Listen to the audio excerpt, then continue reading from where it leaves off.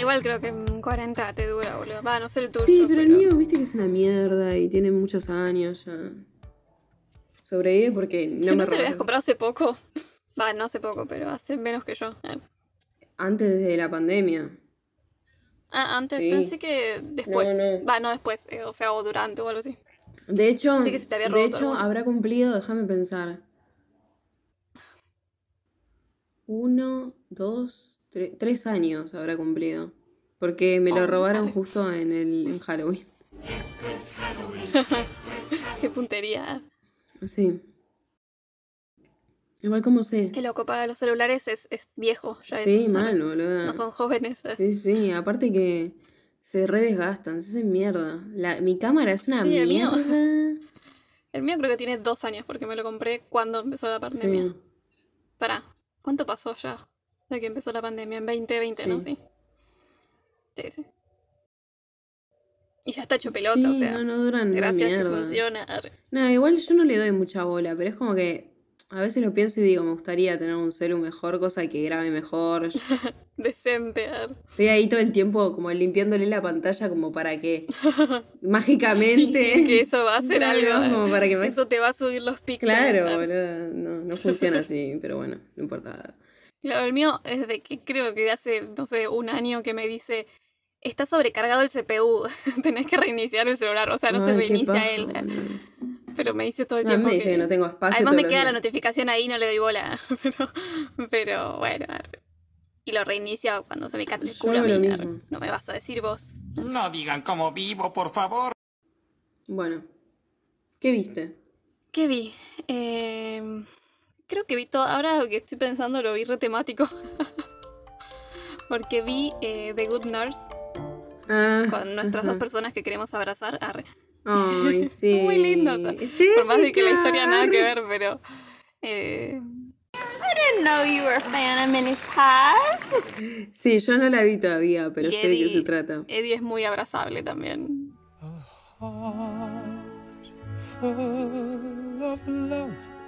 Mal, Eddie es Aunque sí- un además, o sea, muñequito. como que la película. O sea, no sé si saben de qué es.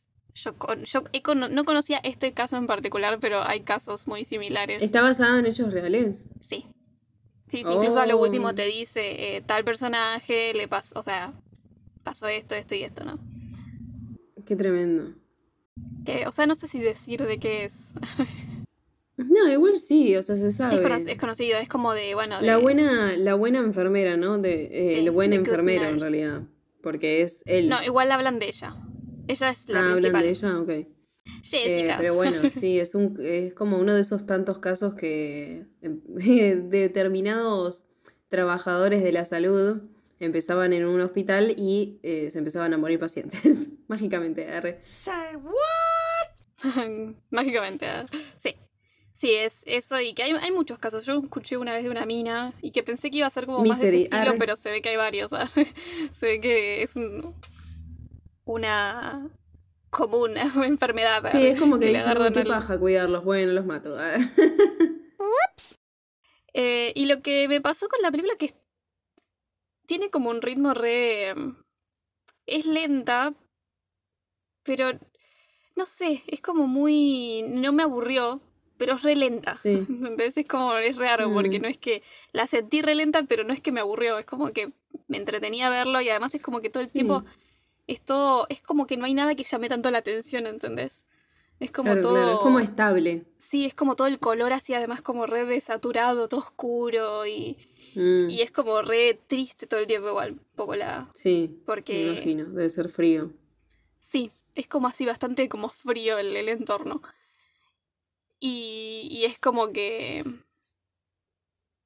Nada, te intentan como meter esto de la, de la maldad en una parte, pero es como que Eddie no es malo, arre. Ay, Eddie es muy... Pero sí, igual tiene una que bueno. lo actúa re bien, tiene una cara como re inexpresiva. Eh, Sí, no le sale mal hacer Nada, me pareció que ellos dos están re bien.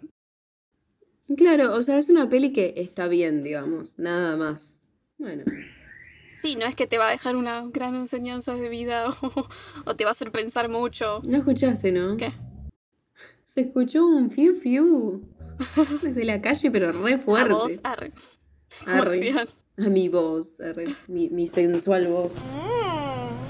Eh, bueno, y después otra cosa que ya la mencioné y que vi, eh, pero la terminé, vi The Patient. Eh, Ah, con- tuviste re temática posta. sí, posta. Eh, The El- Patient es la de Es Steve Steve Carell y eh, el chico este, el, el colorado, Donna Hall. el colorado de... Tom Hall, sí. no sé cuánto. Que hablamos el de en el Black episodio Mirror. de Ana Karenina y que está en Black Mirror y que está en Harry Potter. Eh, y, Qué ay, me de que está en Harry Potter. Ni Sí, registro, boludo. eh, y me re. Es, para mí es re buena serie, no sé. O sea, no es como, bueno, la Qué serie más épica de todos los tiempos. arre. Pero bueno, tiene creo que 10 capítulos. Creo que son 10. Duran 20 minutos cada uno, excepto el último que dura el doble. Y el último fue como. ¡ah! O sea, me- no, no lo podía dejar de mirar, ¿viste? Porque es como que te daba mucha Aparte intriga cómo iba a terminar. Y no sé si va a tener segunda temporada. Ah, no sé. The Patient yo no te, va, no te había dicho de qué era. Es de un paciente, o sea, es un paciente muy especial que Steve Carell tiene que atender obligadamente.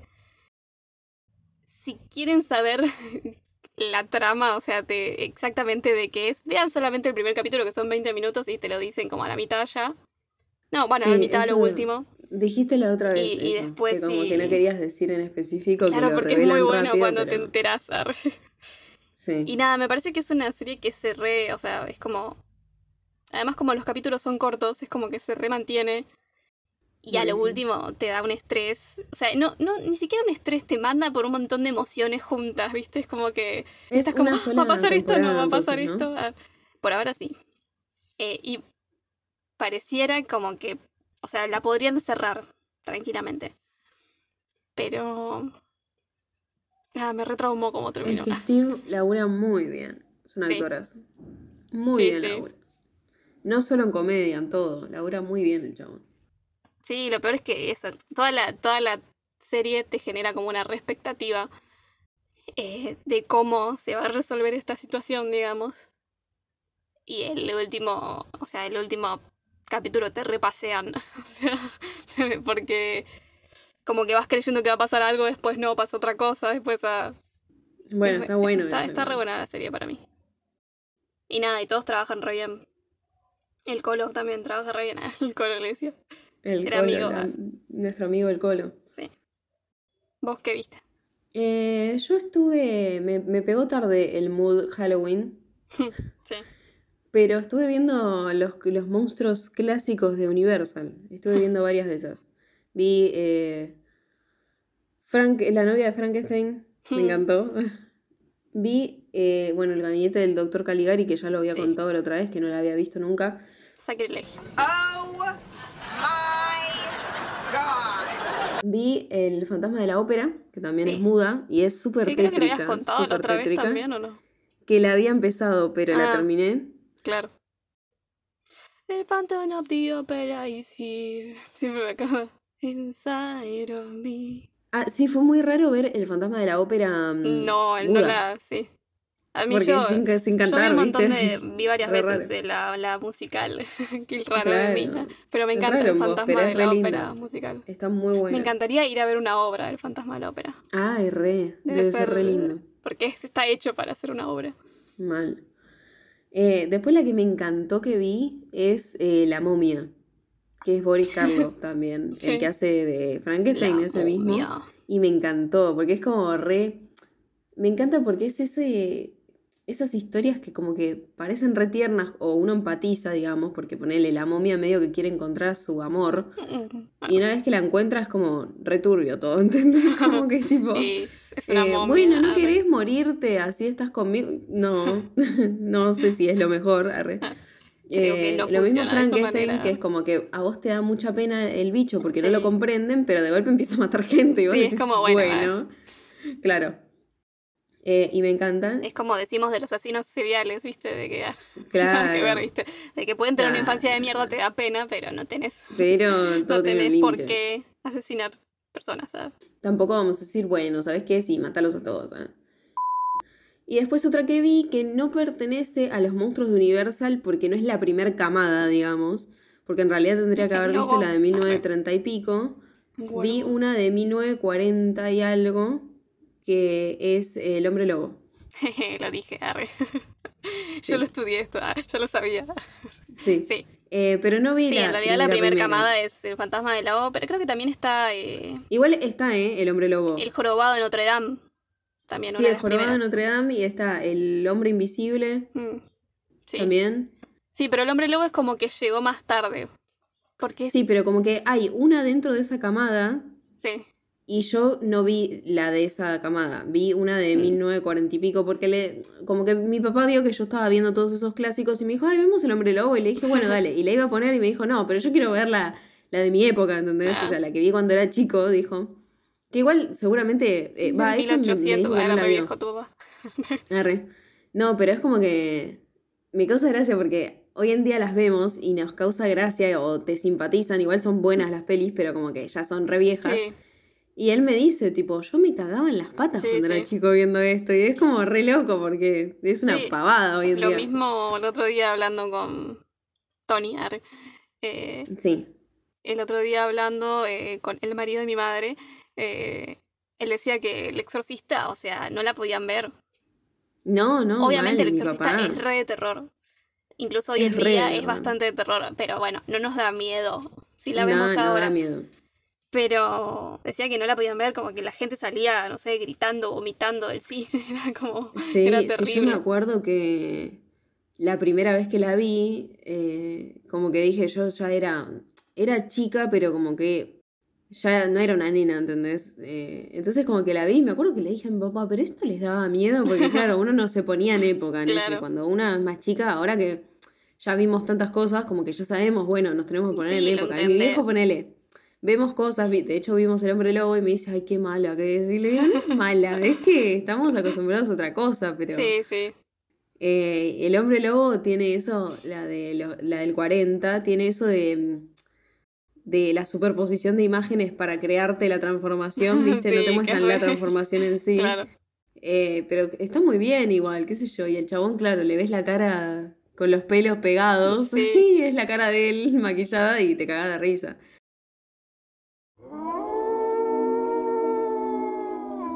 Bueno, y otra cosa que vi, que la vi hace poco, no sé ni cuándo se estrena igual, falta, falta como un mes creo, no sé, falta un montón para que se estrene, no, no estoy segura cuándo, pero vi el menú, Sí. fui a ver, que es la nueva de Anya Taylor-Joy con eh, Ralph Fiennes, y así como vos dijiste que no podés contar mucho de qué se trata el paciente, a mí me pasa con esta película medio Claro. lo mismo. Porque no Porque quieres es como que- spoilear lo, No, lo interesante. eh. Porque es una peli sobre cocina, sí, pero es Pero muy no diferente tanto, a todo lo que hayan visto. Eh, sí, es muy impactante, muy impactante. Eh, ¿Qué y nada, género es? Ralph se come la película. Y es como un thriller o medio terror. Ah, mira. Bueno, No te para- da o sea, en miedo, todo caso, pero para que. tiene, tiene un... Estás re tensa Una guía. durante toda la película, estás muy tensa. Ya con decir eso, bueno, ya se imagina que es un menú raro. es un menú especial. Yo soy Mel Yo soy Luz. y esto es. Porque tengo esto en la boca mientras hablo. ¿eh? Y esto es. eh, Juego de cinéfilas. Y antes de empezar con el capítulo de hoy, vamos a decir que si nos están escuchando en Spotify o en YouTube, pueden dejarnos comentarios, pueden ponernos like, ponernos cinco estrellitas en Spotify, que eso nos ayuda un montón. Tenemos redes sociales, estamos en Instagram y en TikTok.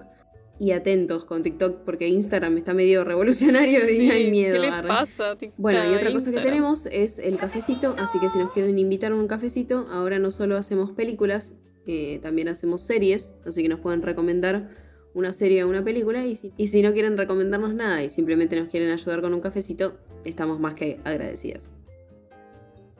Fin, Fin de de espacio, espacio publicitario. Bueno, estamos aquí reunidas en el episodio 33, parte 1, eh, para hacer spoilers de la película One Flew Over the Cuckoo's Nest, o en España Alguien voló sobre el nido del cuco, o en Hispanoamérica, que siempre nada que ver, Atrapados sin salida. Claro, como yo la conozco, que me acuerdo que... Es como nada que ver al así, título. Nada que ver. La he visto así, con ese, con ese nombre siempre, Atrapado sin salida. Y claro, después la buscas en internet y a veces sale y a veces no. Me acuerdo que después en un momento Porque la además quise es como dije, re-. Re específico el nombre. No sé, me parece Sí. que está bueno, no sé. Y también eh, creo que como, como es muy largo, se la conoce como Cuckoo's Nest, me parece que viene. Sí, también. Me encanta el nido del cuco. Sí, igual es de. También, quizás porque acá el cuco es otra cosa. Ahí Sí, es como sí. del pájaro que está loco. Ah, pájaro loco. Claro, sí, sí. El cuco acá es como porque- el monstruo. Claro, acá el cuco es el monstruo, es como el coco de. Bart. Sí. El coco está en la casa. Y acá el coco es el un coco. El Qué coco quilombo. de rayado. Arre. Ay, qué rico. Yo le Ay, pongo mal. coco rallado al mate. Ay, yo tomé co- co- mate con coco rallado Igual hace hay poco, me gente que- rico. Hay gente que toma prácticamente. O sea, como que. Esto me lo digo. Toma cuando, coco. Cuando me- yo me enteré que se tomaba, se ponía coco rallado en el mate.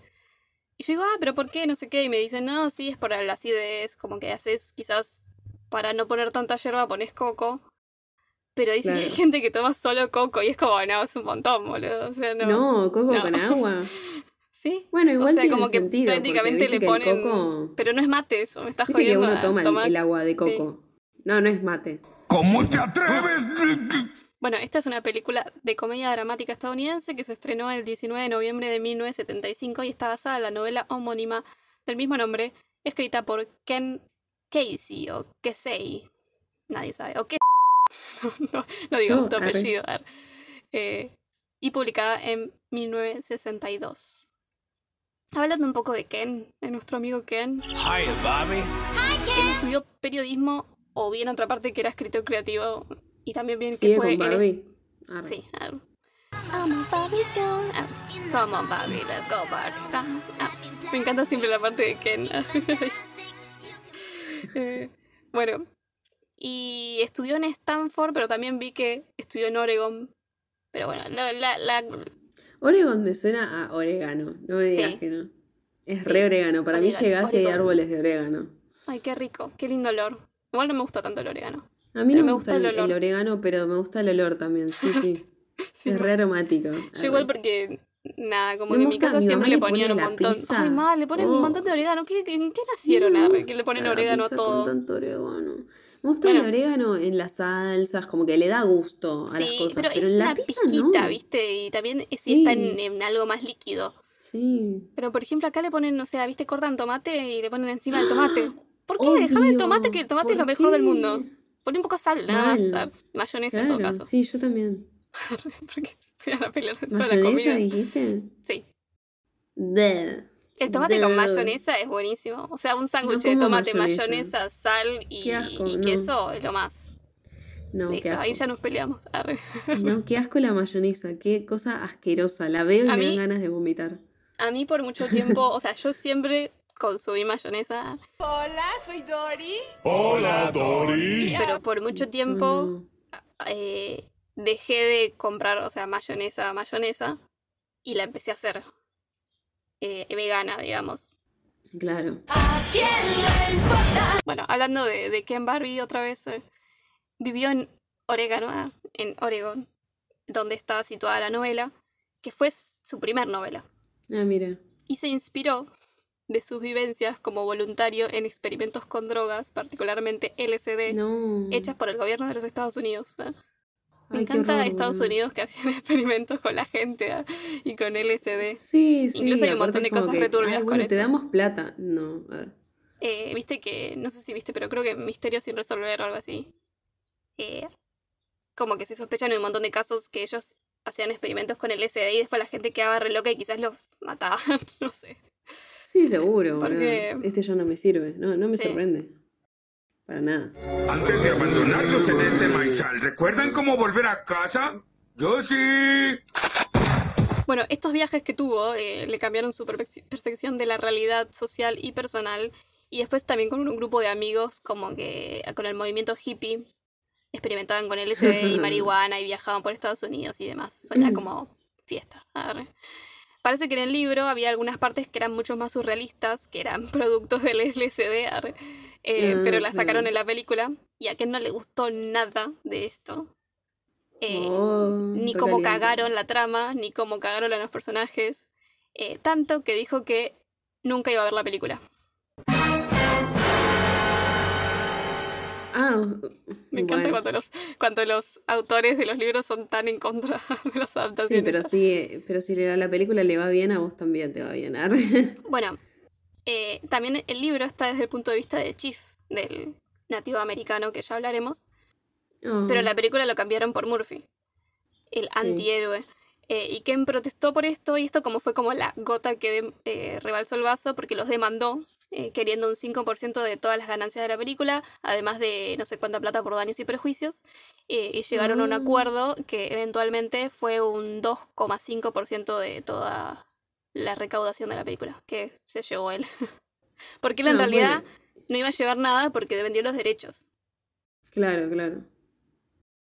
Eh, después, años después, dice que Ken estaba haciendo zapping un día en la tele y se puso a ver una película que le pareció interesante hasta que se dio cuenta que era One Flew Over the. Cuckoo's Nest y que juró que nunca iba a ver y así que la cambió, cambió de canal. Ay, yo pensé que la había visto. Sí, pero igual si le vio. interesante, dale, para mí la. Seguramente la, Y la, la- la vio pero re resentido. Arre. Sí. Total, quién sabe que cambió de canal. Ah, Ah, pregunta a todo esto, que estás en el supermercado. Arre. Estoy pasando las cosas de la caja, disculpa. Em, ¿La habías visto? ¿Sabes qué? O sea, sé que la no la vi completamente nunca, pero sé Sí. que la habré enganchado un par de veces en la tele. Ah, Porque un montón de partes como que me resonaban. ¿viste? También. ah. No, pero, es- o sea, es, con, es una película conocida y la habrán pasado un montón, sí, un sí. montón de lados. ah. Y es como que un montón me sonaba, pero nunca supe la historia completa, digamos. Claro, claro. Así que. Bueno, hablando de los derechos que vendió antes Ken, quien compró los derechos fue Kirk Douglas, padres de Michael Douglas, de quien Sí, hablamos sí. en el episodio de El juego, The Game. eh, que se encontró el libro en una librería y le gustó mucho y como que lo primero que hizo fue comprar los derechos. Qué genio. Actorazo. Su idea era protagonizar el papel principal, pero las grandes productoras rechazaban el proyecto. Y pasó tanto tiempo que cuando logró hacerse la película producida por Michael Douglas, eh, ya no podía hacer el de papel por la edad. Sí, es que, ay, ese hombre, boluda, Dios. Me dio una pena cuando se murió, pero ya tenía, no sé, tenía 800 más de 100 años. Sí, Sí, sí, sí, sí, estaba re mal. Michael es re grande ya. Aún así, bueno, en pero Michael 19 en esa época no era grande. Bueno, sí. Pero nada, como que me los imagino los dos abuelitos. ¿eh? Sí, no, no, pero Kirk estaba, el último tiempo estaba en silla de ruedas ya como muy. tipo, no, no sabía si estaba vivo o no. ¿entendés? Capaz que estaba muerto hacía años y ellos lo tenían. Y era un robot. ¿eh? claro, pobrecito, un genio, un genio, actorazo. Actorazo Bueno. los dos, padre e hijo. Aún así, en 1963 habían hecho una producción de Broadway, o sea, de One Flew Over the Cuckoo's Nest, Ah, y la protagonizó Kirk. Ah, Cuestión que Kirk conoció a Milos Forman en Praga y le pareció que podía ser un buen director de la película, así que le prometió mandarle el libro. Ken. Casey, el escritor de la novela, eh, escribió un guion para la producción y se lo mandó también a Milos Forman, pero lo rechazó este. ah, Entonces, Miles Forman fue el director de la película, que es un director, guionista y actor checo-estadounidense, ganador por dos películas, dos de sus películas a los... ah, rebobinemos. ah. Ganador por dos de sus películas a los Oscars de Mejor Director y Mejor Película, eh, siendo estas One Flew Over the Cuckoo's Nest y Amadeus de 1984. ah, mira. Amadeus. Leí un poco de su biografía me pareció bastante triste, ¿ah? porque quedó Ah, huérfano joven. Sus dos padres murieron en campos de concentración, su madre en Auschwitz en 1943 y su padre en Buchenwald en 1945. Eh, su primera película fue Audition en 1963 y otras, además de Amadeus y la que vamos a hablar hoy, eh, fueron Pedro el Negro en 1964, Hair 1979, The People vs. Larry Flint 1996, Men on the Moon 1999, Los Fantasmas de Goya 2006 eh, y Un Paseo Bien Pagado es la última en 2009. Falleció en 2018 a los 86 años. Oh. Todos fallecieron cerca de los 80. Sí, ¿no? Como que, va, bueno, depende. Kirk Douglas no, arre. bueno, pero Kirk no, este no era parte de la película. era No robot, plata por la película, pero no, no era parte. No, ya sé, ya sé. Pero Kirk Douglas, pará, ¿a qué edad se murió? ¿No tenía 111 o estoy flasheando? ¿101? No sé. Pará. Ay, boludo, el último tiempo era un... 103. Fua. Qué ganas igual. boludo. Qué ganas de vivir tanto. O sea, yo Aparte- llevo casi 30 y no bueno, arre, Bueno, yo en unos años la quedo. el doble, el doble me la banco, pero no sé qué más arre. Mirá ahora lo que era mi vida. Era terrorífico. Sí. Bueno, Milos, eh, siendo checoamericano, comparó el escenario de la película de estar encerrado en un psiquiátrico eh, con la filosofía autoritaria del comunismo. En 2012 dijo, para mí, hablando del libro, eh, no, no era solo literatura, sino la vida real, la vida que viví en Checoslovaquia desde mi, mi nacimiento en 1932 hasta 1968.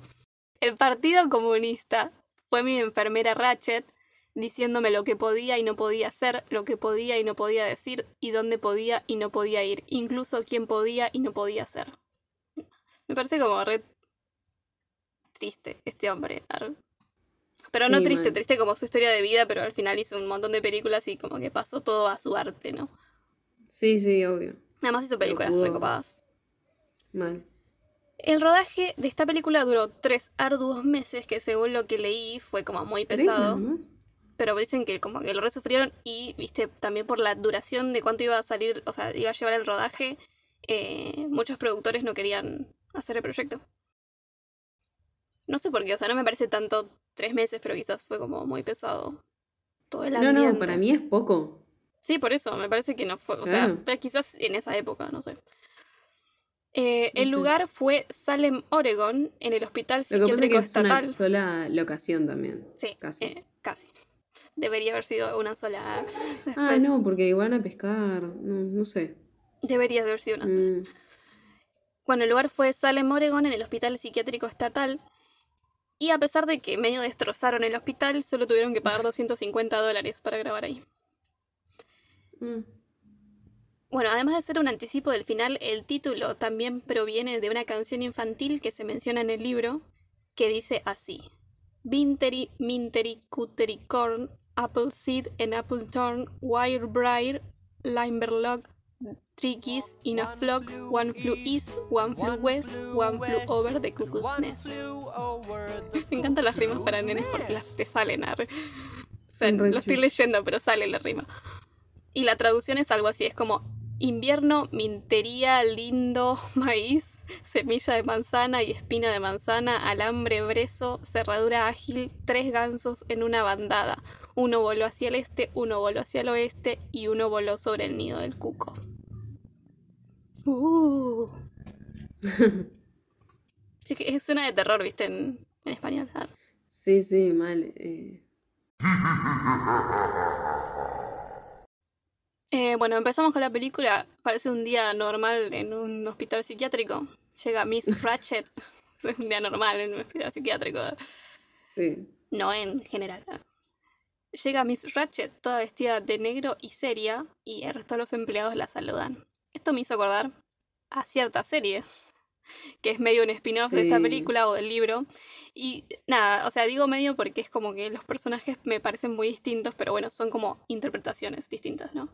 Porque Sí, Ratchet no me parece... Y, y la o sea, dejé. Claro, viendo esta película como que Ratchet me parece...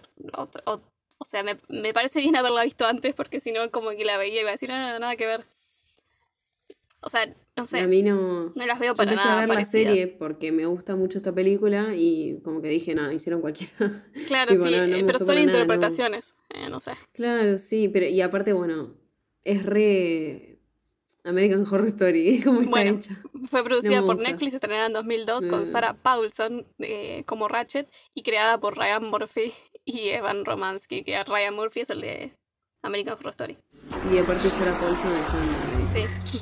Horror Story. Es que Ryan Murphy es todo, es como el emblema, o sea, no sé, todas sus series tienen como, no sé, su estilo, o sea, sí, sí, me pasa un montón de ver series, y- sí, pero me pasa un montón de ver Pero- series y digo, ah, esto me resuena, y después me dice productor o creador Ryan Murphy, y digo, ah, Claro, con razón. No, y es como que Bueno, a mí estoy me gusta viendo- el estilo, pero como que esperaba otra cosa, ¿entendés? Como que, Claro, para no eso sé, pero por haber visto eh. mucho esta película, como que esperaba algo más serio. Claro, o sea, no, no está mal, pero pareció es, es eso, es demasiado- como una adaptación de él. Y como, la Sí, tenés sí, como que separar sí o sí. Ah, Y la serie no está mal, pero dijeron como que iban a hacer una segunda temporada y nunca más la retomaron. No sé. Tampoco es la gran serie, igual como que no siento que si no pasa nada, no pasa nada. Claro, claro.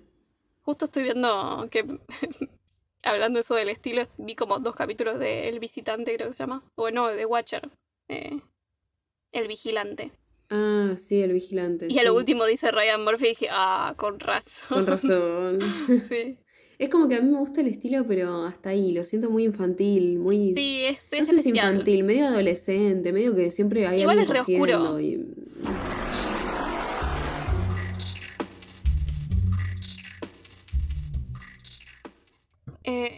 la verdadera Ratchet de esta película, Mildred Ratchet, es la jefa de enfermeras. En la novela nunca se dice su primer nombre, eh, pero en una parte de esta película sí, o sea que supongo que lo inventaron se lo ellos. dice ah. él. Eh, y está interpretada por. Louise Fletcher. ¿Qué dijiste? Que me hace acordar de la sirenita. Me siento mal por no saber tu nombre. Cuando están en el bote, Eric con Ariel, como que Eric le dice, me quiero saber tu nombre, y le empieza a adivinar y en una le dice Mildred, y ella se, mm, como que no le gusta. Ay, me, me gusta Mildred, es lindo. Es raro. A ver si adivino. ¿Te llamas... mm, ah, ¿Mildred? No sé, no sé, a mí me hace acordar mucho a esta mina, como que me da rechazo. Está bien, ¿no? Tal vez... eh, Diana. ¿O Raquel? Y, y Sebastián le dice, Ariel. Y dice, Ariel, y ella se... Ariel, se llama Ariel. ¿Ariel? ¿Ariel? Hmm, Es muy bonito. El cangrejo se lo sopló en el oído, todo muy normal. si le iba a adivinar, además. Arre. Sí, mal. El chabón no salió corriendo. a- Eh, bueno, está interpretada por Louise Fletcher, que fue una actriz estadounidense. Falleció hace muy poco, el 23 de septiembre de 2022, a los 88 poquito. años. Su primera aparición fue no acreditada en A Gathering of Eagles en 1963. La segunda sí acreditada fue en Thieves Like Us en 1974. Al año, al año siguiente estuvo en esta película.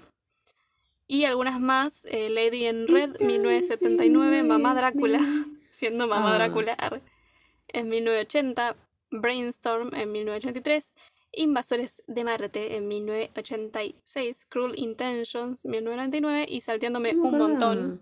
La última que hizo eh, fue en 2013, que se llamaba A Perfect Man. Man. Louise Fletcher se, se perturbó tanto con su actuación de Miss Ratchet que no pudo ver la película por años. Me parece un montón igual. Es que igual habrá sido feo el Igual yo no, yo no sé si vería algo. Yo no sé si vería algo en lo que actúe Han. No, yo no. Me daría una vergüenza Sí, ajena. Re vergüenza ajena, no, porque propia, pero. Pero quería disociar, ah, quería fingir que no era yo. Sí, sí, sí, sí. Tal cual. Eh, en un principio, el papel de Ratchet lo iba a hacer Lily Tomlin, Ay, qué Mientras que Louis Fletcher eh, iba a hacer la película Nashville en 1975, pero se intercambiaron papeles. A ver, no sé si lo hicieron ellas o le dijeron los productores, ¿ah? pero cambiaron. Eh, otras a las que se le ofreció el papel de Ratchet fueron Anne Bancroft, Ellen Burstyn, Paige Dunaway, Colin Dewars, arre. Fonda, Oh. Audrey, Audrey Hepburn. Pero También Jean Moreau, Shirley MacLaine y Geraldine Page. Shirley MacLaine, la amo. En la novela, Ken, nuestro querido Ken, ama papica. Eh. Ratchet es descrita por Chief. eh, la describe así. Ella tiene una cara que es suave, calculada y hecha con precisión, como una muñeca cara. La piel como esmalte color piel con blanco y crema, ojos celestes y una pequeña nariz. Las únicas facciones que no van con la perfecta apariencia de Miss Ratchet son sus labios y uñas, amb- ambos de un extraño color naranja, como la punta de una soldadora. Rarísimo. Eh, un color que parece tan caliente o tan frío, nadie puede saber bien cuál. A su vez, lleva una copa R, sus pechos son descritos como gigantes, lo que a ella parece molestarle. Rarísimo. Eh, el uniforme sentido, de Ratchet entiendo. es blanco, sobrealmidonado atuendo de enfermera para que que usa para confinar su pecho lo mejor que puede con el propósito de esconder su feminidad. Para los demás, ella es una muñeca de mediana edad que fue hermosa en su juventud, pero principalmente es una enfermera intimidante que pasa como una retorcida figura maternal con sus pacientes.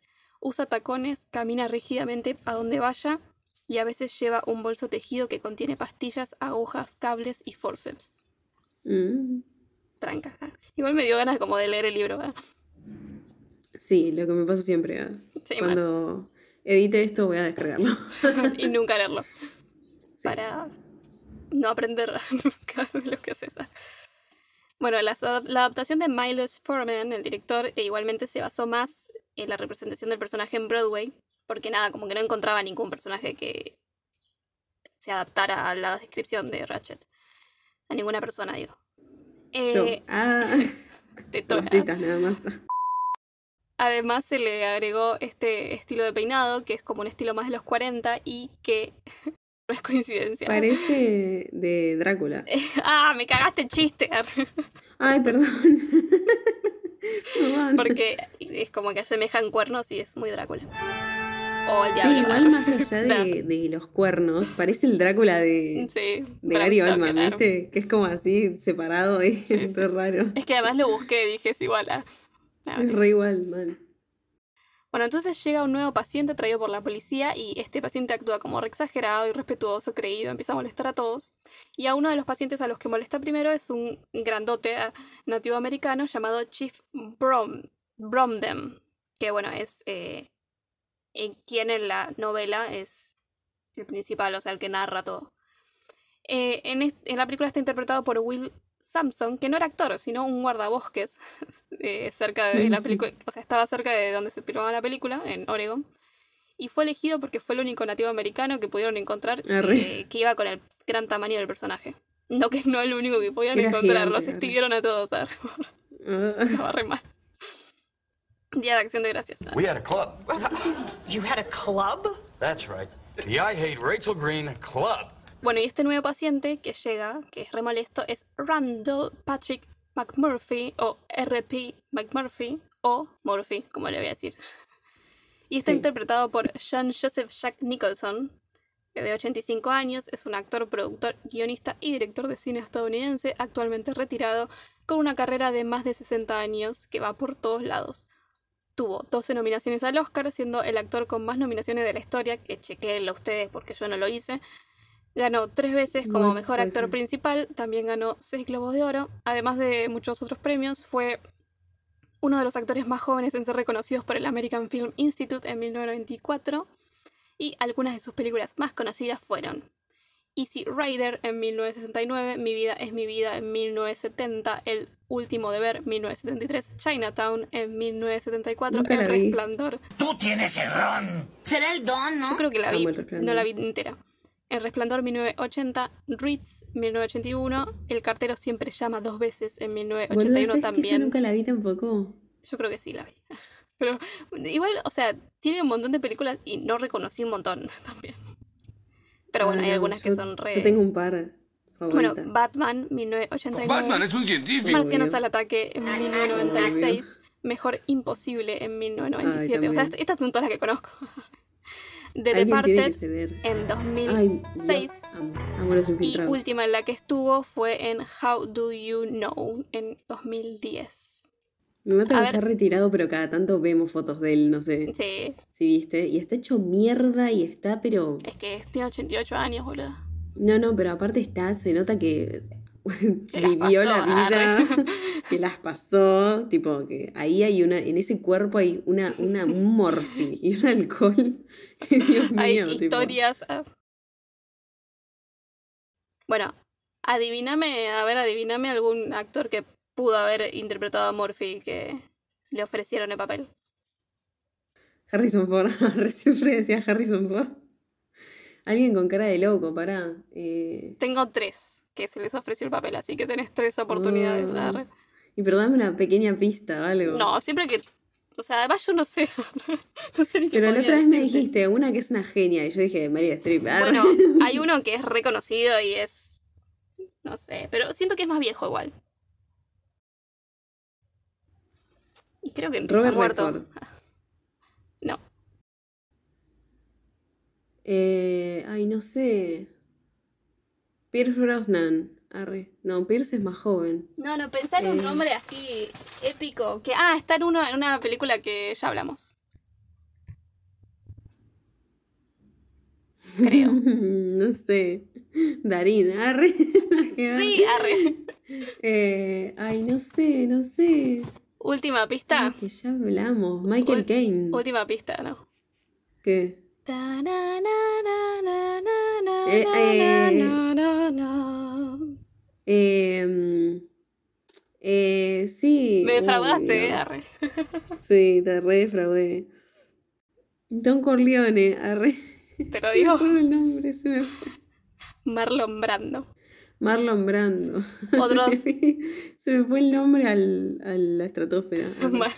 A veces pasa, a mí me pasa todo el tiempo. Sí. Bueno, además de Marlon Brandon, eh, se le fue ofrecido el papel de Murphy a Gene Hackman y Steve McQueen. Ay, sí. Ay, me gustan las Eso no- Gene Hackman lo hubiera hecho bien. No me acuerdo quién Gene es Gene Hackman Hackman. tiene pinta de, de garca. Eh, igual le hubiera quedado bien a Marlon Brando. El papel de loco. Sí. Ah, Gene Hackman podría ser. No me acordaba que era este. Hackman también. Sí, sí, sí. Igual a Jack Nicholson le queda. Le Papel queda de loco le queda. o sea, es como el si papel de fuera de puta haciéndose el loco. Sí, también. Es perfecto. Bueno. Bueno, el director quería tener un actor principal que ya fuera una estrella eh, y a los demás actores medios desconocidos, así todos como que lo adoptaban como el líder. Claro, El líder es bueno. Ah, el líder.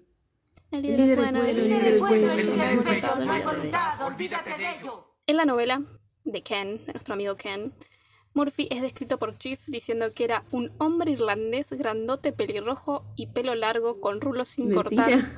Que ver. Con un físico amplio y una mueca diabólica, cicatrices frescas sobre su nariz y mejilla, una piel tostada por el sol con un color de cuero viejo por trabajar largas horas en el campo.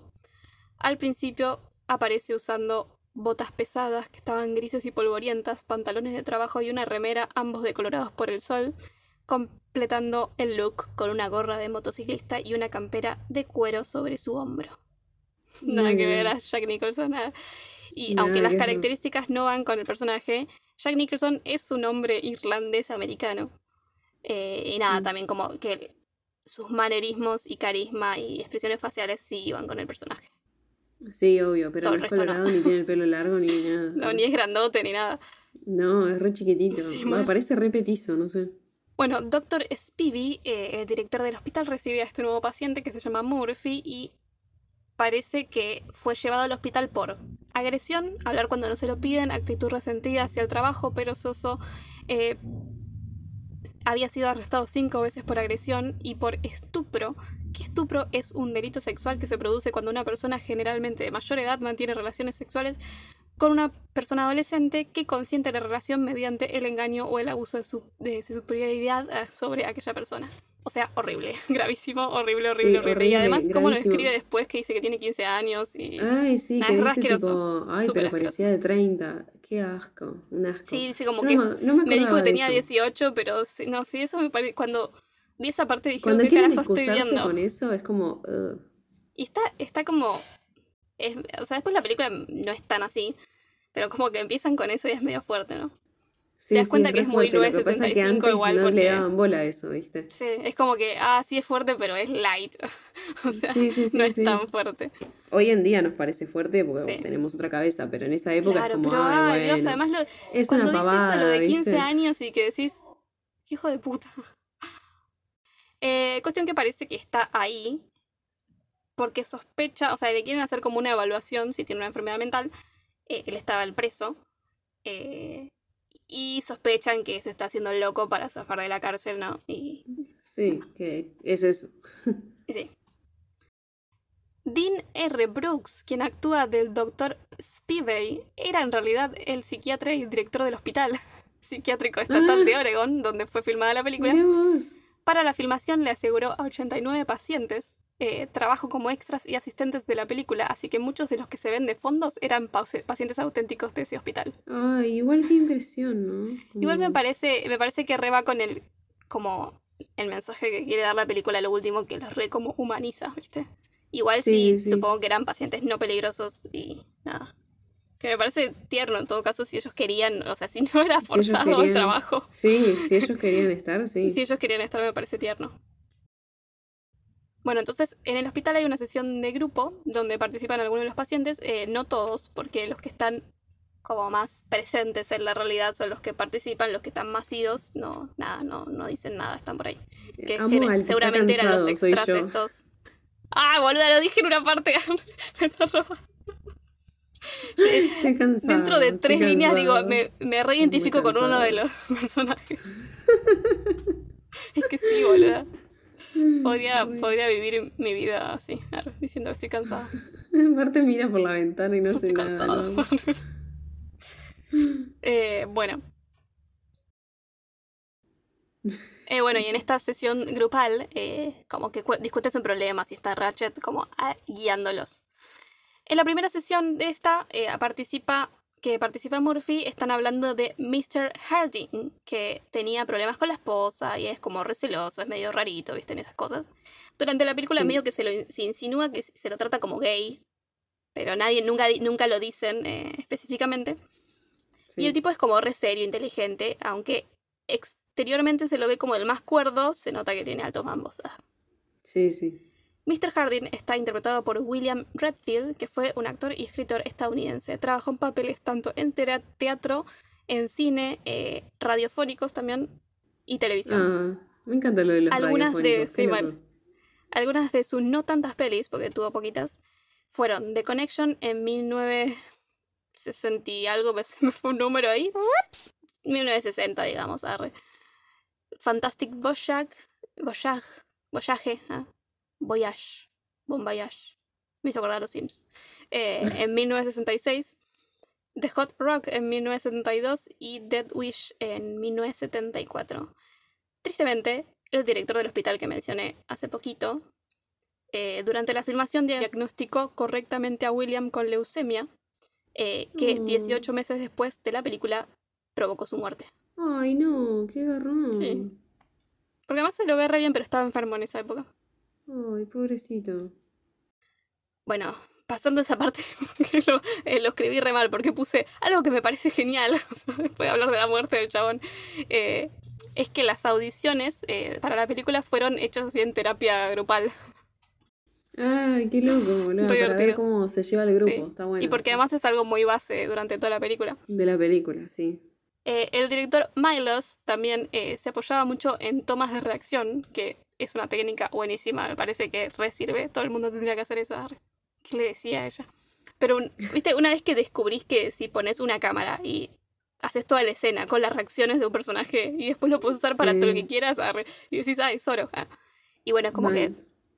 él como hacía estas, incluso en, en estas sesiones de grupo, es como que dejaba la cámara en Jack Nicholson a pesar de que Jack Nicholson ni hablara. Y Sí. eran 10 minutos de Jack Nicholson reaccionando a lo que estaban diciendo los otros, nada más. Claro, claro. Y después las tomaba, o sea, las usaba para donde quería.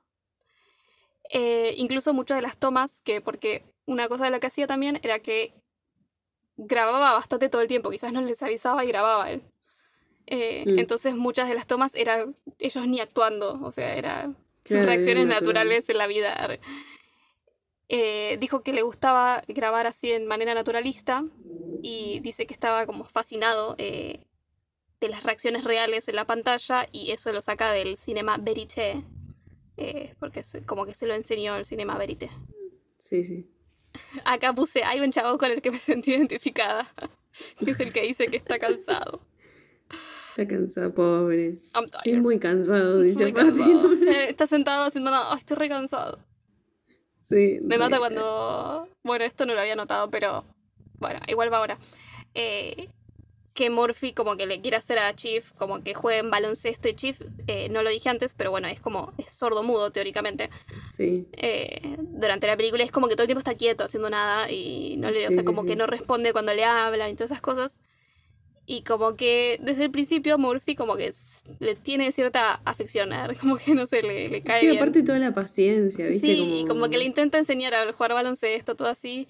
Eh, y en esta escena, Jack Nicholson se sube sobre los hombros del tipo que dice que está cansado todo el tiempo. Y esto parece que fue improvisado. Ahí está el ascensor. a. Y me mata porque el chabón lo tiene encima de los hombros y dice, ah, estoy cansado, pero estoy cansado. Pero igual como que juega. Qué bueno que estuvo improvisado. Bueno, enseguida, a pesar de que empezó siendo muy molesto y bolas Murphy, va tomando como una relación con los pacientes y no los trata como locos, ni se cree muy especial él, eh, aunque sí desafía bastante a la autoridad representada en Ratchet. En la siguiente sesión de grupo, Murphy propone que los dejen ver el campeonato mundial de béisbol y Ratchet le dice que no. Como Murphy insiste, Ratchet, le- que la tiene re clara, dice que voten. Y, y solamente lo apoyan dos a Murphy. Es Eh, que igual se nota que ella es la autoridad y se nota que le tienen miedo. Sí, eh, para mí es que.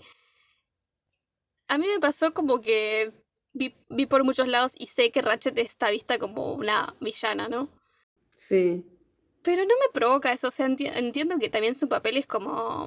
O sea, si lo pienso en realidad, alguien que es la jefa de enfermeras de un hospital psiquiátrico tiene que tener una fuerte presencia y, o sea, no es, Es como un que- joda.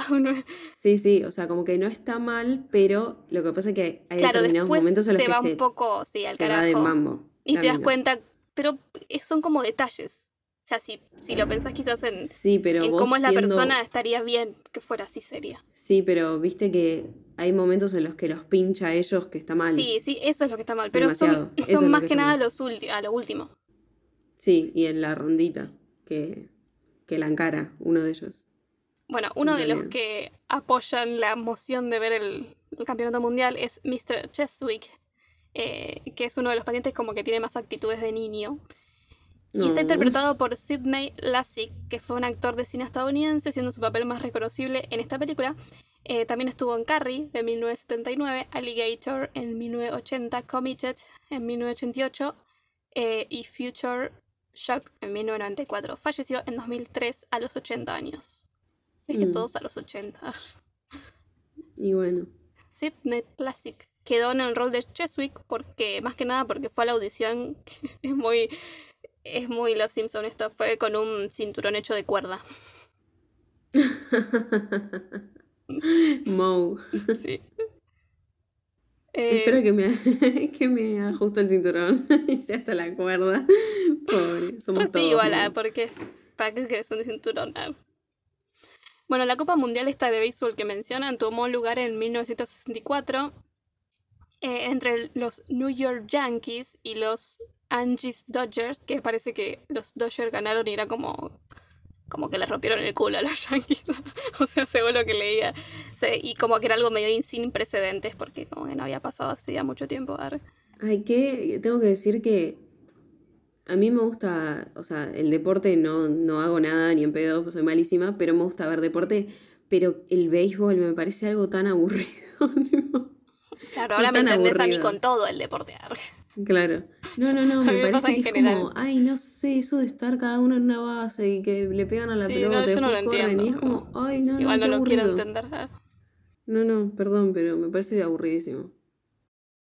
Bueno, entonces como no logran ganar cuando, eh, o sea, esto- esta votación de ver el partido, cuando están solos entre los pacientes, Murphy dice que, bueno, me escapo y voy a ver el, el campeonato afuera. Y como siempre en esta película, una de las cosas, o sea, además de las de las sesiones grupales, una de las cosas que es re- recurrente es que apuestan cosas. Todo el tiempo es, Sí, hago esto. ¿cuánto, ¿cuánto apostamos? Típica.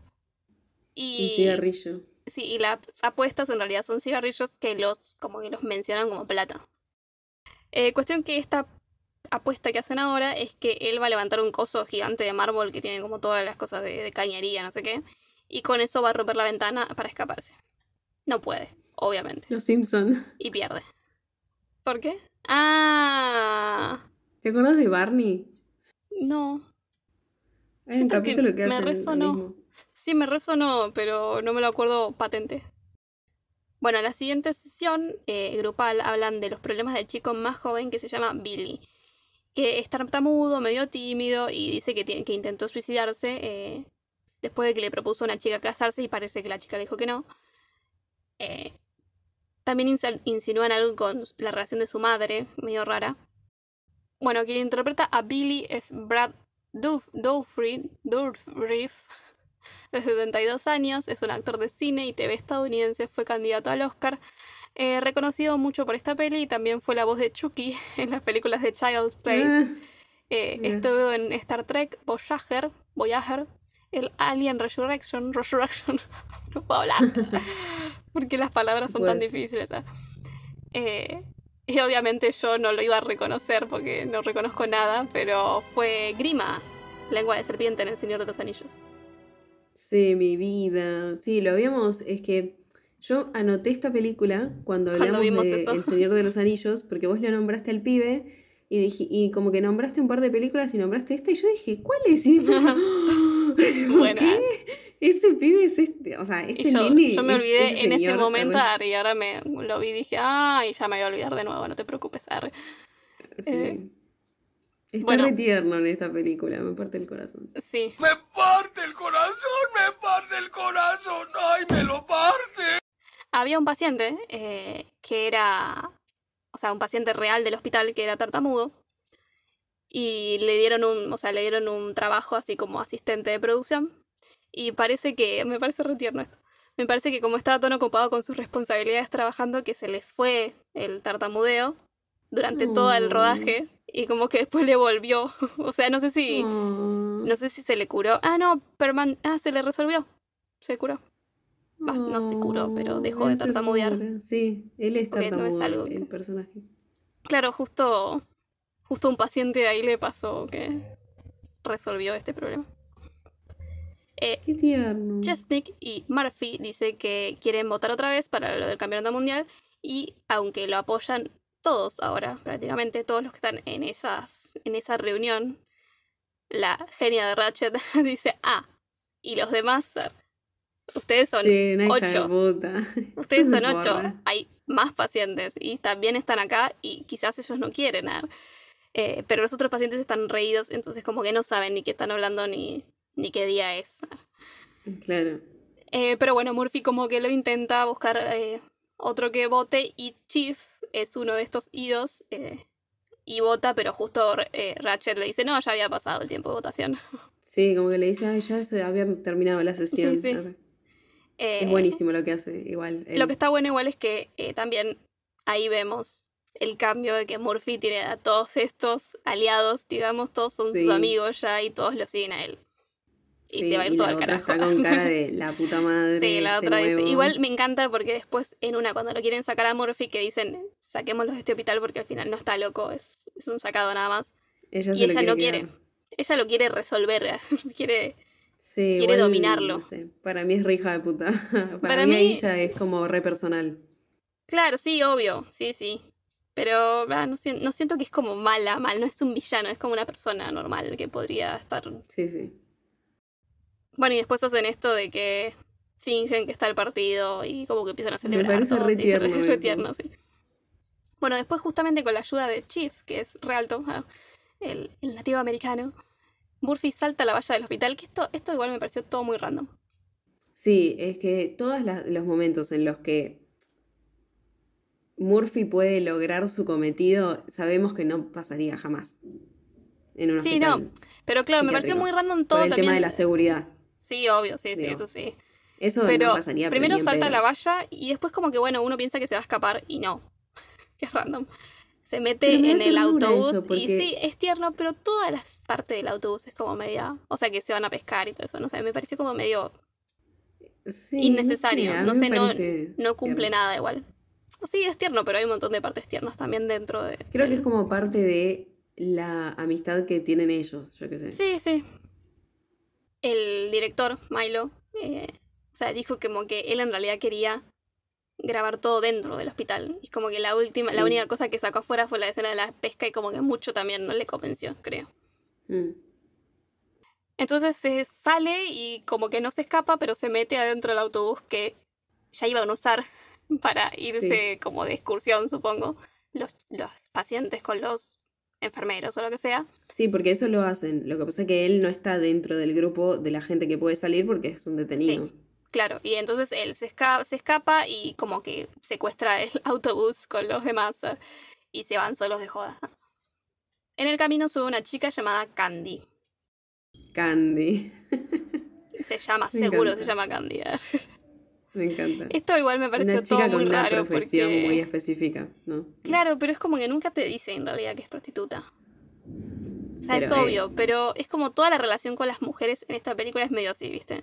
Sí, es que es re machista. Sí, Mismo como Eh, habla él de Ratchet también. sí, sí. Eh, viene más allá de, de que ellos tienen una relación en específico en la que ninguno de los dos soporta al otro, es re machista todo lo que dice él. Sí, como que todo es re despectivo y él que, o sea, entiendo que también es como parte de su personaje, pero él que tiene todo el tiempo las cartas de las minas en bolas. Sí, es sí, como, sí, sí. en- creo que la, o sea, en todo momento que se habla de una mujer o aparece una mujer es como algo así en esta película. Sí, sí. La única quizás la otra enfermera que no se le da bola. igual. Eh, bueno, la escena del bote les llevó una semana en filmar.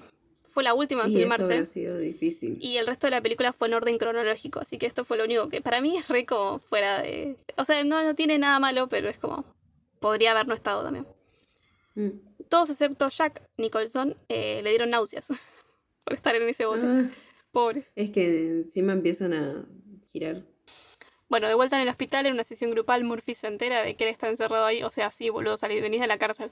Pero que se lo está encerrado así ahí hasta que se lo considere apto para salir, pero se va preso, porque hasta que termine la condena. O sea, no sé. Y también se entera de que gran parte de sus amigos eh, están ahí voluntariamente. Y él no lo puede entender. Me mata el que está voluntario que, porque es- está celoso de que piensa que, que la mujer lo está cagando. Sí, eh, hard, Hardink, algo así. Porque Este, es como que digo, ojalá todos fueran así, igual internate, ¿viste? Por lo menos. Claro, pero el chabón igual estaba re perseguido. ¿Viste que dice Estaba que re la perseguido, mujer... pero digo, antes de maltratar a la mina, o sea, bueno, si bien no sabemos qué onda la relación, como que digo, sí, sí, Es tratate. que él es como muy, muy inteligente, entonces, ver. Sí. Me encanta cuando empiezan con. Pero él es re inteligente y se empiezan a defender y se pelean entre ellos. Sí, uno le dice, ay, es tan estúpido. o sea, el- uno que es re sacadito le dice que es estúpido al chabón que está diciendo palabras como que ni entienden. Sí. Eh, bueno, acá voy a presentar a alguien porque no porque tenga un papel muy importante en esta película, sino porque tiene una carrera importante como actor después de esta película, que es el paciente Mr. Martini, eh, que como que está ahí y no hace nada y Aparte pone carita de tierno. Martini me mata. Sí, pone carita de tierno y como que nada, no se parece en nada a quien es Sí. ahora, hoy en día, porque está interpretado por Danny DeVito, actualmente 77 años, actor, comediante y director de cine estadounidense, trabajó en una gran cantidad de películas, siendo prácticamente esta su debut cinematográfico. Otras películas que estuvo, Batman Returns en 1992 como El Gran Pingüino, Marcianos al Ataque en Mm. 1996, Space Jam 1996, La Virgen- Las Vírgenes Suicidas 1999, Big Fish 2003 y las últimas Dumbo 2019, Shumanji The Next Level 2019 y The One and Only Ivan en 2020. Algo para Me, decirte me de Dani. encanta. eh, de, de Dani, de Vito, dijiste Matilda, ¿no? Ah, no, me olvidé. No me apareció. Ah, no la vi. Es que tiene Ah, un bueno, montón. pero es el papá sí, de está Matilda. Matilda, sí, sí. Sí, eh, nada, qué genio. Qué genio, boludo. Sí, Siempre lo genio. recordaremos como el stripper de. La- la- el, pa- el- el papel más importante. arre. El long, long, el, the arm of the law. ¿Qué dice? El gran brazo de la ley. El papel de él es muy tierno. Sí, todo el tiempo está como sonriendo y no hace nada, pero es como re. Es re como, buenito, y es como re Ah, curioso. Sí. Es como un pajero, pero Sí. te da ternura. Es como que, un niño, o sea, te da cara de ternura y después te dice, pero es un hombre grande. Sí, sí, sí, es como, bueno, lo pensás y decís, bueno, qué turbio, pero es re tierno. Aparte un re lencazo, boludo. Sí, pero Todos los locos son conocidos. Todos los locos. más o menos igual. O sea, los más conocidos el- son Danny DeVito y. y se quedó allá. Y Jack Nicholson. Y está el de Coso, el de Ghost, el de Subte. Y el, y el Doc Brown, de Volver al Futuro. Ah, bueno, no lo anoté porque anoté a los que más hablan. arre. El que se, el que se pelea con Coso. El que se pelea con Coso, con el. Con el que la- piensa que la mujer lo engaña, es el Doc Brown. Sí, ¿sabes qué? O sea, ahora que me lo decís le veo la cara. Pero. Lloyd. Sí, sí. Y después el otro, el que tiene, el que me encanta, el- tiene una cara re especial el actor, perdón. Pero el otro que mm, tiene como la frente re larga es el que le enseña a tocar las cosas a mm, Patrick Swayze en, en Ghost, un fantasma que está en el Siempre mencionas esa parte. Sí, Eh, Como no te sé marcó la vida. No sé, es que, es que me daba miedo cuando era chica, seguro por eso, me daban re miedo ese fantasma. Y acá es un loco encima. Eh, Pero sí claro. son todos reconocidos. digamos, justo todos los que nombré, los que no nombré. ah. Bueno, Chesn- Chesnik, Chev- Chunik, el, el, el tipo, ah, o sea, el nombre del personaje, empieza a alterarse y gritar. Y, y esto me parece retierno igual también porque Murphy como que lo quiere calmar para que no se lo lleven los enfermeros. Pero no puede, o sea, no puede con lo que todo el, el drama que está haciendo. Por una boludez además, era por, creo por los cigarrillos o algo así. Por los cigarrillos, sí. Que igual me parece bien, porque es como que está bien hecho, porque es como que a partir de que él llega, empiezan a, ya que ellos son voluntarios encima, como que empiezan a enfrentarla un poco a ella. Sí, sí. Con un tema sí, se le de, está tipo- descontrolando medio todo. ah. Se está descontrolando, pero como que ellos al- a su vez empiezan a tener más conciencia de que están ahí por, por sus medios y que la mina medio que los tiene cagando y que ah, no Sí, sé la, qué la tanto los mina, ayuda. la mina los quiere tener todos controlados, nada más. Claro. O sea, está bien. Que voluntarios, pero es como mientras de- queden de todos en su lugar. también. Y, sí, Y es obvio. como que el chabón como que le dice tipo, eh, ¿por qué es esa rondita en la que está el, el pibe, lengua de, serpiente, lengua de serpiente, arre, que le dicen tipo, que ahí nombran como que el trauma del pibe es con las mujeres porque como que siempre Sí. se enamora y como No, que dan a y entender se como que intentó es suicidar y también como que te meten algo con la madre, que no le contó a la madre, no sé qué. Y es como que le dice, ¿te puedo hacer una pregunta? Y se nota que está como re resentido con algo y es con el tema de los cigarrillos, porque dicen, me sacaron los cigarrillos, eh, pero en realidad como que con lo primero que la encara es con, eh, ¿por qué le metes presión a él para hablar de esto si no quiere? Y es como, ay, Claro, posta, no le metas sí. presión, pobre.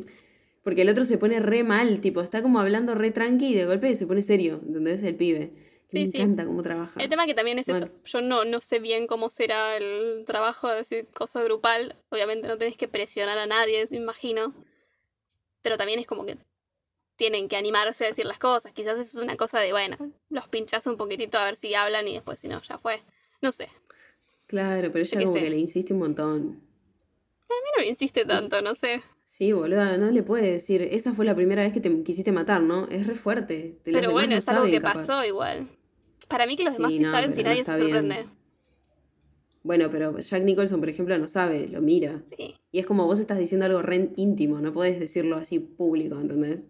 Que se quiso matar.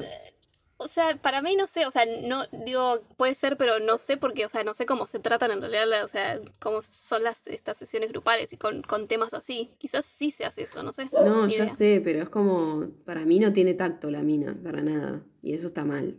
Porque si vos, vos tenés cierta responsabilidad siendo alguien que trabaja para la salud, no podés encararlo así. Es como terapia de choque, ¿entendés? Tipo que, ay, yo le tengo fobia a las arañas y me traes una araña gigante para que... No, ¿entendés? No, deja que me acerque a poco. Está mal lo que hace la mina. Are a mean girl. You're a bitch. Bueno, como que Murphy lo quiere calmar para que los enfermeros no lo agarren. Entonces él llama la atención y se pelea, se termina peleando igual sus sacados. Se termina peleando con un enfermero, acabándola a palos. Y Chief, que lo ama, eh, y ya son mejores amigos, eh, lo va a ayudar. Así que se terminan metiendo todos en quilombos y terminan todos siendo llevados y retenidos a otra parte, ¿no? Mm. Muchos de los actores eh, siempre se quedaban en personaje, incluso cuando no se estaba filmando. Tanto que empezaron a preocuparse por Sidney Lassick, el que hace de Cheswick, eh, porque eso Sí. empezó a ser re impredecible, errático, y en una lo tuvieron que, creo que en esta escena lo tuvieron que sacar del set porque como que entró en medio de un estado psicótico. Uy, boluda, Eh, incluso tanto que como estaba en un hospital psiquiá- psiquiátrico, eh, un doctor dijo que si había que darle medicación, él tenía lo que había que darle. No. ¿cómo vas a medicar al actor? No, tranquila. Bueno, antes de que pase lo horrible, Murphy le da eh, un chicle a Chief y él le dice gracias, que se supone que es sordomudo. buenísimo. Me Y el encanta. chabón dice, ay, los engañaste a todos. Eh, me encanta. Qué hijo de puta le dice a Sí, le dice, vos entendías todo el tiempo, sí. Bueno, cuestión, como dije, ahora viene lo horrible porque eh, fueron todos Terrible. tenidos aparte por algo que se hacía mucho antes y no sé si se sigue haciendo hoy en día. Eh, no, me no. sorprendería, pero no debería ser no, así. pero me No me parece que está re, re archi mega prohibido, pero por ahí, en lugares donde no se sabe, esos lugares son con la Además, gente los, hacen lo que sí, el- los psiquiátricos son... en- Por eso, me gustó esta película el ¿Sabes los hecho de que que lo, debe haber? sí, que lo muestran diferente, no es como que te muestran Sí. algo feo, pero es como que, no sé, muestran más humanizados. Bueno, entonces lo que pasa ahora es la terapia de electroshock. Eh, Que no es terapia, es tortura. sí, pero se le decía terapia. O sea, ¿a quién carajo se le podía ocurrir Sí. que darle un choque El eléctrico al cerebro te iba a hacer algo bien? No sé, era para en realidad para que queden todos medios pelotudos. y Sí, sí, sí. no era para no hacerle bien a nadie. Sí, era Sí, para eso. Bueno, incluso en esta película pasa eso. Eh, bueno, durante esta escena Murphy dice, A little dab will do you. O sea, un- una, una pizca ya, ya te hace, no sé. Cuando la enfermera le está poniendo eh, las cosas, o sea, los cositos alrededor de la cabeza. conductor, Sí. sí. el líquido conductor y... Sí, esta, enfer- esta enfermedad a ser. Esta frase no es original del, del guion y es de un jingle de una crema para el cabello que estaba en la tele Ah, mira. en los de 1960 a 1970.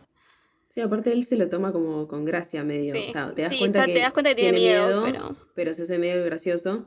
Pero te iba a decir, antes de esto, que, o sea, lo vemos a él entrando, obvio, pero antes primero lo llevan a, al otro, ¿cómo es que se llama? A Chesnick. es como un niño. Chesnick. Chesnick, no sé cómo se dice. Chesnick. Ches- Chesnick, Bueno, Chesnick. eh, primero lo, lo hacen entrar a este y cuando lo sacan, lo sacan como turuleco, ¿no? sí. Lo sacan medio mal en una camilla. Y por eso yo te había dicho que te fijes de ver la versión Sí, sabes eh, que me di cuenta completa. después, pero porque tengo buscando los datos, yo pensé que yo pensé que vi la versión extendida porque busqué la más, Claro. o sea, lo que podía sí, ver que sí. estaba más cosas, pero después leí un dato que dice que hay un personaje que en una ah, en una escena eliminada hay un personaje que le hacen una lobotomía.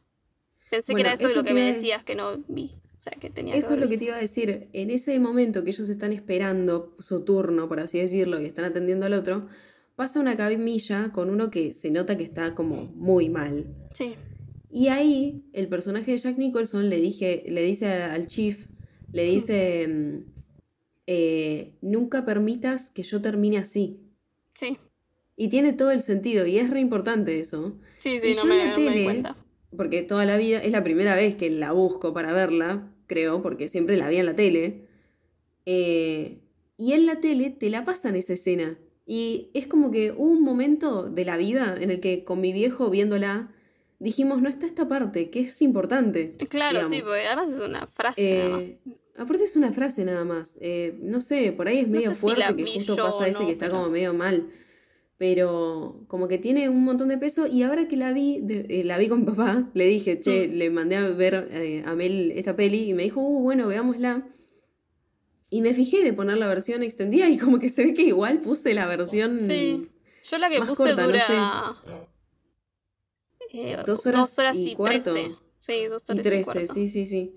Y, y Pensé bueno, que era- nada, dije, bueno. no sé, eh, no, otra vez no vimos esa escena, pero está, está cortada en muchos lados, no sé por qué, Claro, pero es muy importante esa parte. Sí. Sí, y aparte es una frase, qué sé yo. Sí, o Lo que pasa es que, bueno, te lo muestran con la lobotomía, pero igual después... O sea, después te muestran el electroshock, o sea, está bien. Supongo que Sí, lobotomía es un poco más final- fuerte, pero. Y además el final. Eh, bueno, Jack Nicholson y Louis Fletcher, eh, ambos, eh, estando en su estancia en el hospital este, presenciaron cómo se le hacía una terapia de electroshock a un paciente. Horrible. O sea, sea, que no en me esa época imagino- todavía se Sí. hacía. Sí. Es que duró un montón. No, no, tuvo mucho tiempo eso. Qué horror, qué Y por eso digo, no sé si en algunos lados todavía la se película acepta es como hacerlo. re... que te lo plantea como algo que está mal. Claro, y en el mismo hospital pasaba, qué feo. Qué feo. después de que le hacen esto a Murphy, entonces él hace, finge, como que queda medio oído, ¿no? Pero es un chiste. Incluso me causa ternura también porque... Porque todos se preocupan, los amigos. Como que lo ven llegar y dicen, uy, quedó re No, el mal". chief enseguida agarra como que va a cagar a palos a todos, ¿viste? Como que estruja sí, algo, sí, sí. entonces eh, Murphy lo primero que hace es guiñarle un ojo para que no haga nada. Y el otro como que se re relaja. y se ríe. Y se ríe. Y bueno, era un chiste y él está igual que siempre, digamos, porque no creo que quede muy igual que siempre después de una, una cosa así. Entonces, rebelde sin causa, Murphy llama a esta chica, Candy, para que vaya a la noche esa y traiga una amiga con alcohol y boludeces. Esto Se aprovechan es de que hay-. Sí, se aprovechan de que hay un solo guardia, además porque habría un solo guardia en un manicomio, ¿no? Sí. En un hospital psiquiátrico. Y aparte el guardia no lo vas a comprar con Sí, una botella de alcohol. y él como que medio, prostituta, o sea. sí, ve, una, ve a la mina, ve alcohol y le dice al otro como, bueno, anda con la o con Candy, yo me quedo No, con y la aparte otra. que le dice, ellas nos van a dar más que alcohol, ¿no? Es como... es sí, el, el guardia es como rasqueroso. Es rasqueroso el guardia. Por eso todas las partes que hay como minas, es como medio, Sí, es un espanto. medio Un espanto. muy 1975. Pero bueno, era así. Sí. Lamentablemente era así la- Sí. el concepto de, que tenían de las mujeres.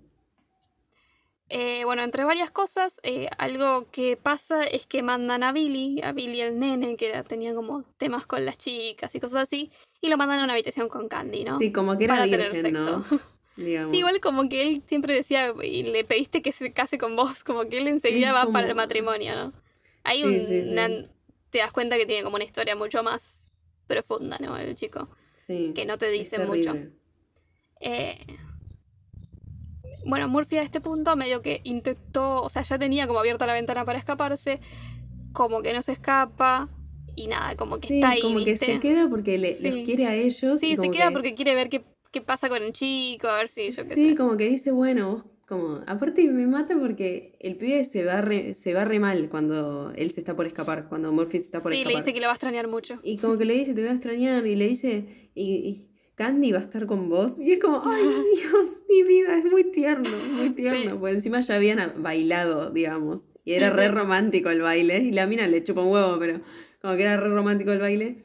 Y ahí también es como re machista y re asqueroso, porque dice, ay, ¿qué querés? ¿Estar con ella? ¿Qué querés? ¿Una cita? Tiene que ser una Sí, cita sí. rápida, como diciendo, si te la querés coger, te la tenés Sí, que coger ya está, te rápido. la doy dos Y él minutos. le dice, no, no, no, como que le tiene miedo a las mujeres un poco, ¿viste? Tiene eso sin resolver.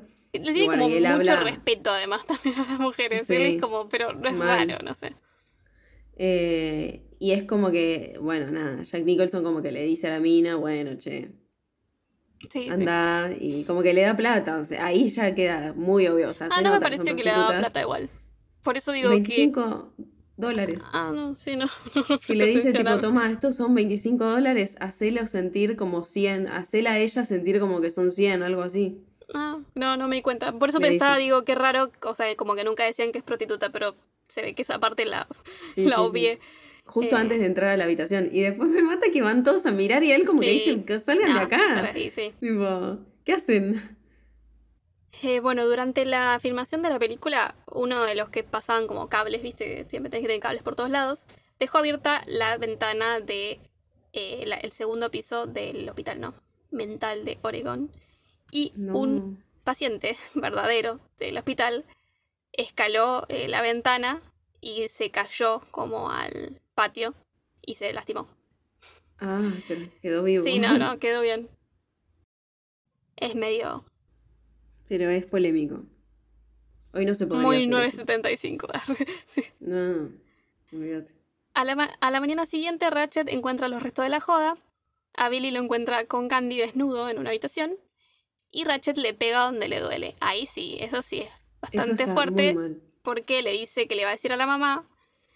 eh, Y se nota que como es un aparte. Sí, y nada, es Y le como dice, que. yo soy amiga de tu mamá. ¿Qué sí, pensás como- que hubiera es como que parece que lo ella? amenaza todo el tiempo. No, en esta no, es parte. horrible. El trato de ella con ese pibe, Sí. que encima lo ves re vulnerable, re chiquito, re... Eh, bueno, entonces el, eh, Billy, lo que como con esta presión, confiesa que Murphy fue el que provocó todo, ¿no? El que hizo la fiesta, todo, que es verdad igual, pero Mm. bueno. Eh, Sí. Murphy intenta escaparse otra vez. Porque a todo esto Pero- el boludo de Murphy no llega a escaparse porque se queda dormido. Como, dale, No, estúpido. claro, pero él no quiso escaparse. Además, viste que apenas vienen es como que el chabón cierra tranquilo, el enfermero cierra tranquilamente la cosa y él se podría haber ido corriendo en ese momento. Sí, pero Es como que él se ya se despierta y como el que dice, bueno. Eh, cuestión que intenta escaparse otra vez nuevamente Murphy, eh, pero esta vez lo retiene algo mucho más feo. ¿Qué pasa? Ay, es un. Billy finalmente con toda la presión y todo este tema de que lo amenaza con la Que madre y todo eso, a la, eh, y a que la sí, oficina del director, ¿no? y que anda a saber qué iba a pasar después, eh, se suicida con una, bot- o sea, una botella, creo. Una botella que estaba cortada. Sí, habrá roto una botella y se la sangre, Sí. Es una repintura roja. Entonces Murphy ahí se saca y la ahorca a Ratchet, Terrible esto. que igual. es lo peor además que podía hacer, ¿no? Porque sabemos que de ahí no vuelve él. No, de ahí no volvés. Obviamente está mal ahorcar la Ratchet, hoy Ratchet igual sale bien, pero Sí, aparte de una cara de angelito después de lo que pasa, ella está como media pilla. Pero bueno, viste, por eso, o sea, es como que yo veo el personaje como alguien que estuvo toda su vida en esa, ¿entendés? O sea, Sí, sí, sí. Eh, tenemos un análisis temporal, eh, no sabemos cuánto tiempo pasó, pero cuando vemos a Murphy de nuevo, él esta vez no está fingiendo nada y sí está ido completamente. Eh, Chief se pone re mal y como Murphy antes le había dicho que se escapen juntos, Chief le dice, bueno, vámonos, nos vamos juntos y lo mata ahogándolo con una, una almohada.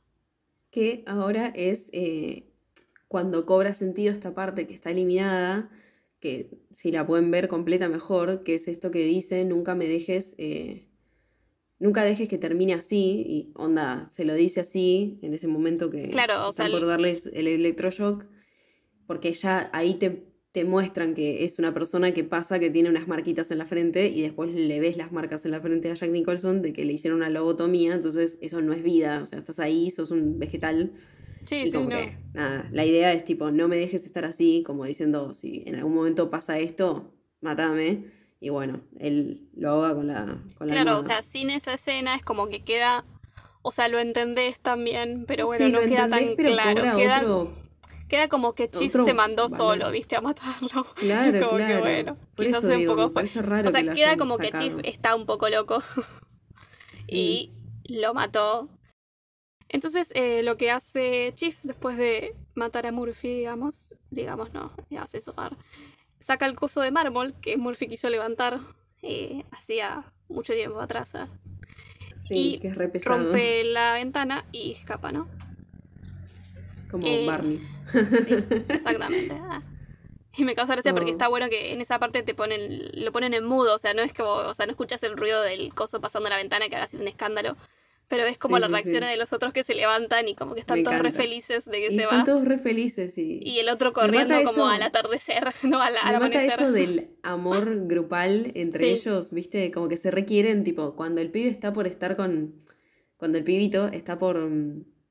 por acostarse con Candy, digamos, que todos festejan. Y cuando sale, que están bolas, que, que sale en culo incluso, y se, se pone los pantalones y medio que está ahí al lado de la de Ratchet, y como que está recagado el pibe, pues sabe que lo van a cagar a pedos.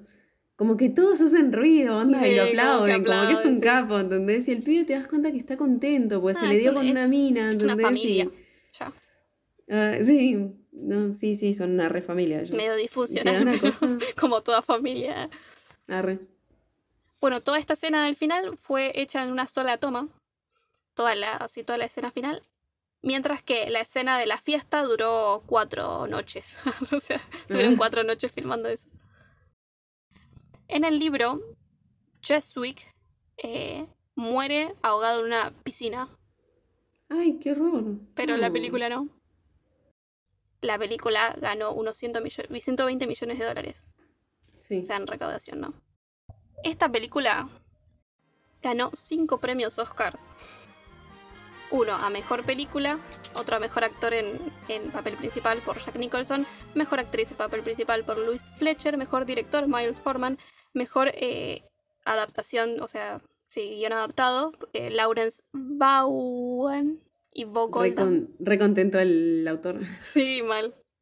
Y estuvo nominado también a los Oscars de Mejor Actor de Reparto, Brad Dourif, el eh, Grima, arre.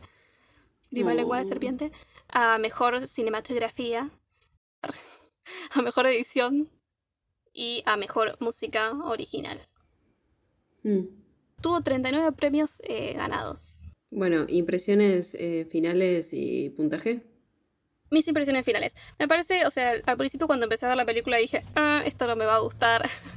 Sí. Eh, pero me gustó eso, que se arma como una dinámica, re como re familia, digamos, y, y como que te das cuenta como que se empiezan a querer y, y esto de Sí. mostrar, muestran como una parte de la sociedad que no encaja, o sea, gente que no encaja en la sociedad común y como que encuentran su lugar en el mundo en un lugar que, nada, eh, no te lo esperas, ¿viste?